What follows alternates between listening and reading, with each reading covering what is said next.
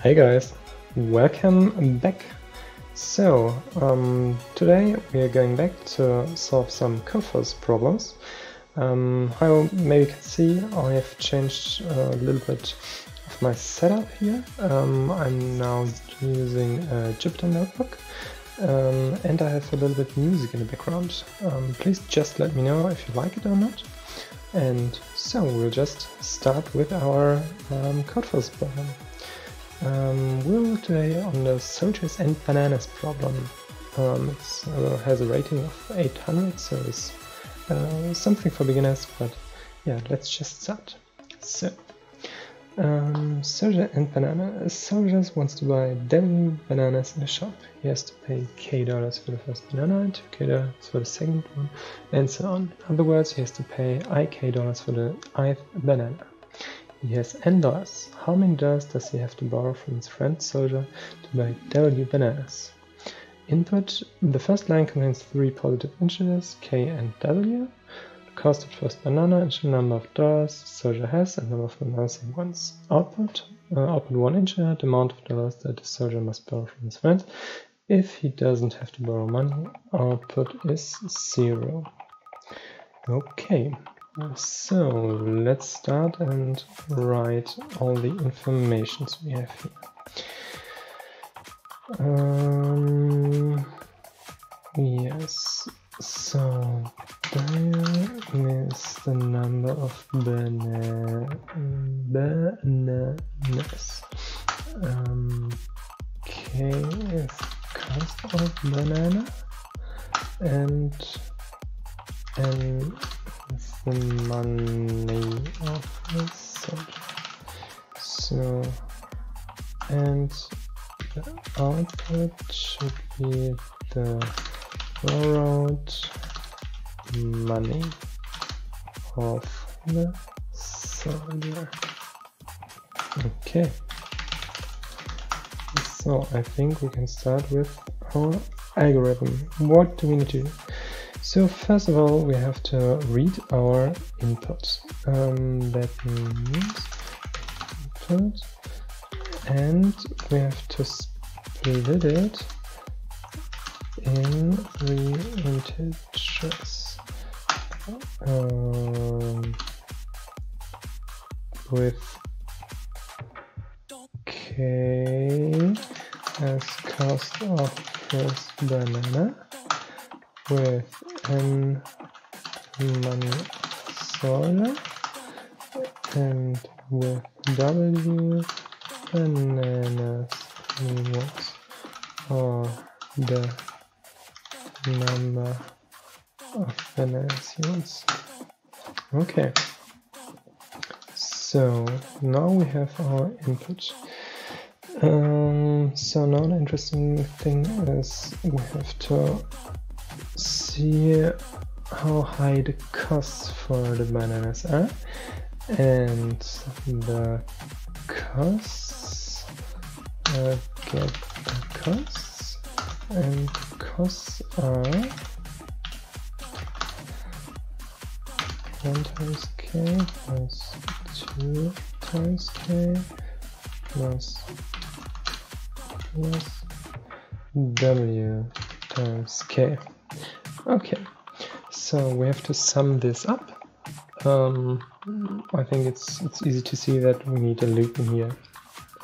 So then what we have to um, output is the money that is borrowed. How do we get the money that is borrowed?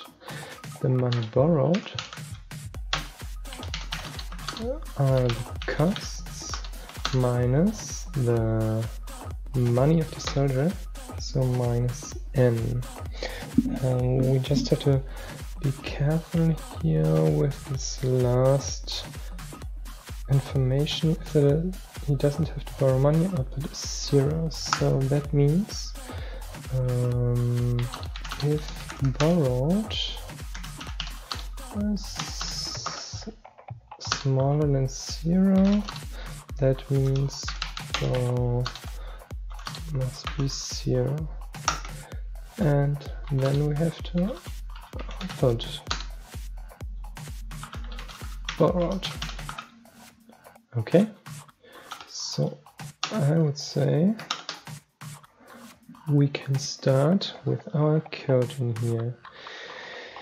So first of all, okay, N and W. Uh, we have to read in. So we want to read the input and split it.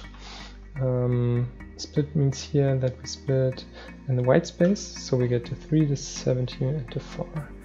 Um, if we do it like this, we get some strings, but we want um, integers, and we want uh, to make every uh, item uh, there as an integer.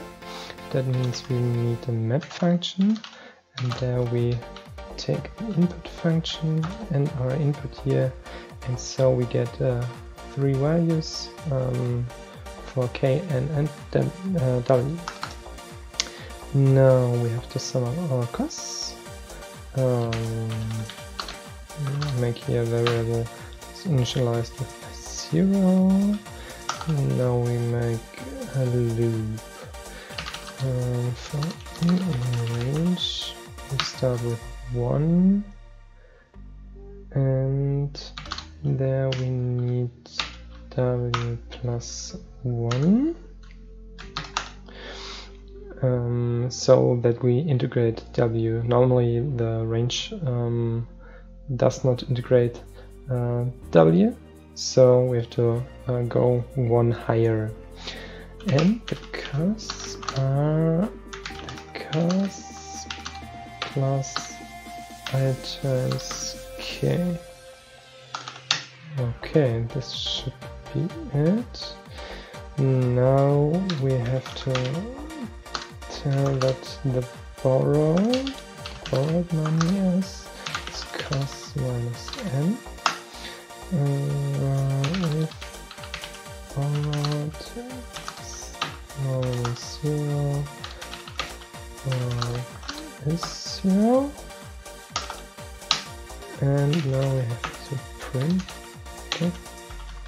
Alright. I think this should be it. Let's test it. So we have an input here 3, 17 and 4. And we with an output of 13. Okay.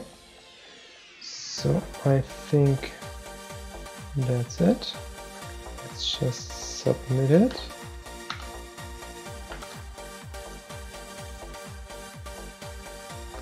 And it was accepted. Nice. So, this was the soldiers and banana problem. Thank you for being with me. Um, if you have any questions, feel free to a comment there. Um, if you like it, tell me. If you don't like it, uh, tell me too. Uh, tell me what you think about the music. Tell me what you think about the format. Um, I appreciate every feedback. Thank you and see you.